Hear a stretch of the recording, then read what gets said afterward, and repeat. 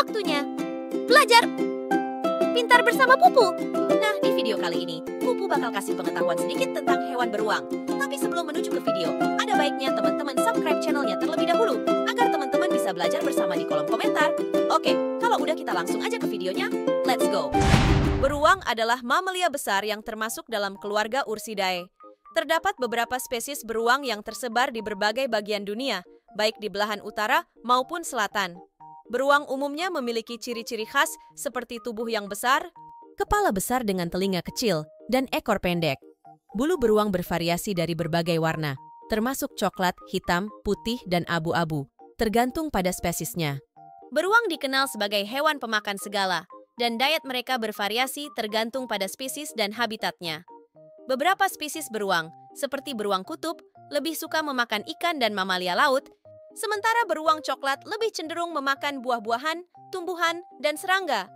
Beruang grizzly, yang merupakan subspesies beruang coklat, juga dikenal sebagai pemangsa besar yang kadang-kadang memangsa mamalia besar seperti rusa.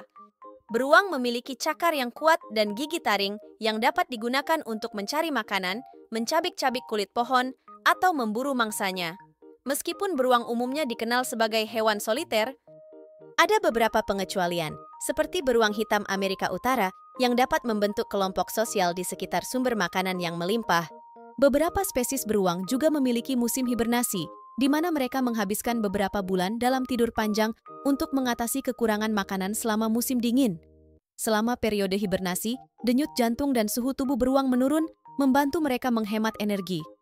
Beruang telah lama menjadi bagian dari budaya dan mitologi manusia di berbagai belahan dunia mereka sering menjadi simbol kekuatan, keberanian, atau ketahanan.